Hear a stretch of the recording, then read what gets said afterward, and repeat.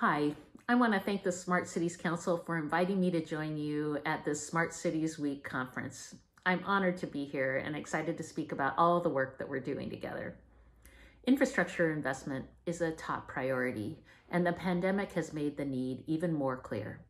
Across the country, as we work to update aging infrastructure, we have an opportunity to incorporate smart technologies in these projects. These innovations can provide us with information to help improve the efficiency of energy and water systems, transportation networks, human services, broadband connectivity, and public safety operations. And they'll equip our cities with the resources that they need to better provide services and make the most of limited municipal budgets.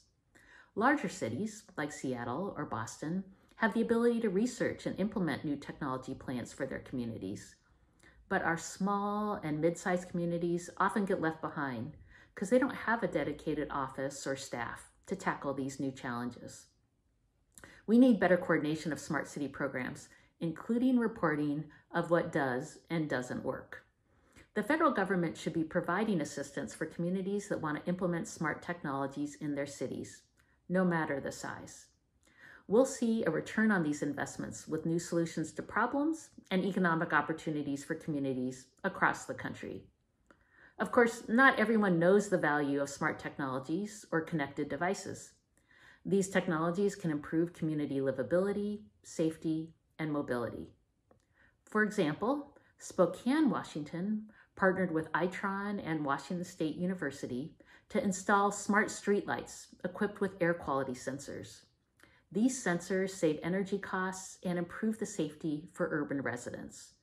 Smart technologies can also increase our resilience to natural and man-made disasters. The City of Seattle partnered with the University of Washington and Argonne National Laboratory to deploy an array of sensors across the city to improve hyper-local weather forecasting to reduce flash flooding. In Los Angeles, Traffic planners analyze data on pedestrian and cyclist fatalities to pinpoint the most dangerous intersections. The government then used the data to add bike lanes and post officers at these intersections during rush hour. Ultimately, technologies like these can save lives and transform our communities for the better. That's why I introduced the Smart Cities and Communities Act. While U.S. cities are actively pursuing a smart city model, the transition is slower than expected. The federal government's efforts lack the coordination, scope, and focus to achieve the results that we need to put smart technologies to work. That's where the Smart Cities and Communities Act comes in. The legislation would enhance federal coordination of smart city programs, including improved reporting and demonstration of the value and utility of smart city systems. It provides resources and assistance to local governments that are interested in implementing smart city technologies. It develops a skilled and technology savvy domestic workforce to support smart cities. It improves the quality and performance of smart city technologies while assessing and enhancing cybersecurity and privacy protections. And it fosters international collaboration and trade in smart city technologies.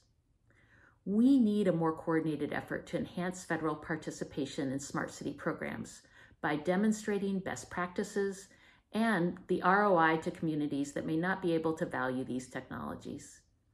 A 2015 study found that every dollar invested in government technology saves communities nearly $4 on average. City governments are expected to spend $41 trillion over the next 20 years on smart technologies to upgrade their infrastructure. So think about the return on that investment. Smart technologies are expected to continue to have exponential growth as the number of internet connected devices is expected to exceed 22.5 billion in 2021. We developed our legislation in collaboration with cities and industry leaders across the country to authorize $1.1 billion over five years. We must meet the moment and make the use of technologies that can support our communities. Now, you may be surprised to hear that Congress traditionally is very slow to act when it comes to legislation on new and innovative technologies.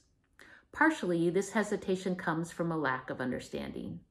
If lawmakers don't understand something, it's hard for them to know the right path forward. That's why I'm co-chair of both the Internet of Things Caucus and the Women's High Tech Coalition. Our goal with these groups is to educate my fellow members of Congress on particularly complicated technology issues, including smart city technologies and the connections that power them. As we look forward to the next Congress, I still believe that investing in infrastructure is one of our top priorities. My district is a good example. It's a global technology hub in one part and a rural community without high-speed broadband or good cell coverage in another. We must be addressing these disparities in access to critical technology infrastructure. Cities are already investing in smart technologies, and key provisions from the Smart Cities and Communities Act have been adopted in other legislative initiatives. The Moving Forward Act, the House's sweeping infrastructure package, included some of my Smart Cities priorities, including the expansion of the Smart Cities demonstration project to include small and medium cities. It includes provisions for resources and technical assistance to local governments that are interested in implementing smart city technologies, and a pilot program for cities to promote smart cities technologies. While the US is currently lagging the world in smart city development, I see a bright future. This future begins with enhancing the federal coordination of smart city programs and demonstrating the value and utility of smart city systems. So thank you again for inviting me to join you today and for your work to make smart cities a reality. There are so many communities that will benefit from your efforts. So please enjoy the conference and have a great day.